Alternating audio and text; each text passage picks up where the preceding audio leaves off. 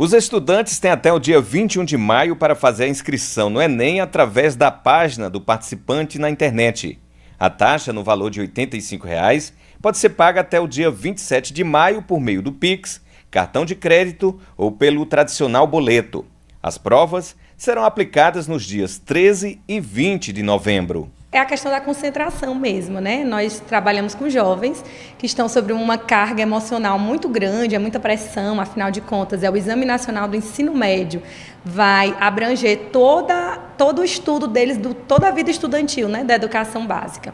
Então tem a questão da concentração e relacionada à questão de conteúdos, a gente busca fazer uma revisão daqueles conteúdos que são mais pontuais. Aqui na nossa escola nós temos alunos que vão prestar vestibular em todas as universidades do Brasil em várias das universidades do Brasil, não somente o vestibular através do Enem, então a gente busca buscar os conteúdos mais pontuais, trabalhar principalmente em cima da resolução de questões, isso é importantíssimo.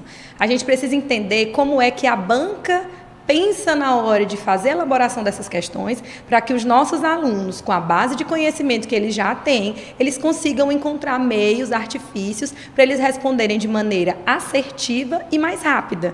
Afinal de contas, é uma prova muito extensa, requer muita concentração e também habilidades na hora da resolução das questões. José Ricardo é estudante do terceiro ano do ensino médio e já fez o Enem por duas oportunidades.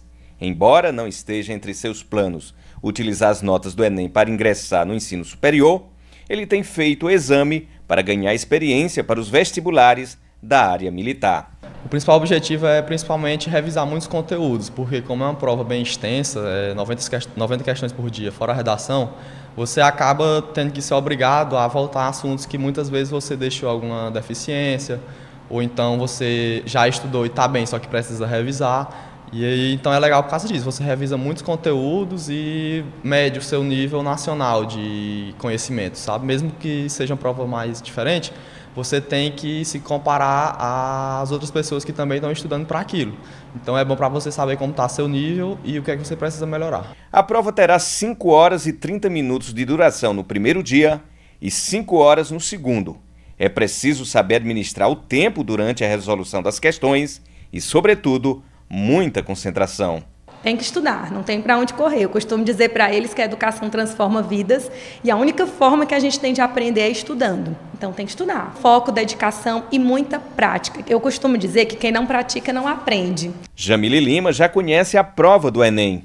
Ela está focada em seu objetivo, que é cursar medicina na USP, uma das faculdades mais concorridas do Brasil. Atualmente, a estudante dedica 12 horas diárias a revisão de conteúdos. É bem extenso, né? bem cansativo, porque são muitos conteúdos para ver em um tempo limitado, que é só um ano. Então você tem que se esforçar bastante para conseguir cumprir a meta de ver, revisar e estar tá dominando tudo aquilo para quando chegar na hora da prova você poder demonstrar seu aprendizado, né?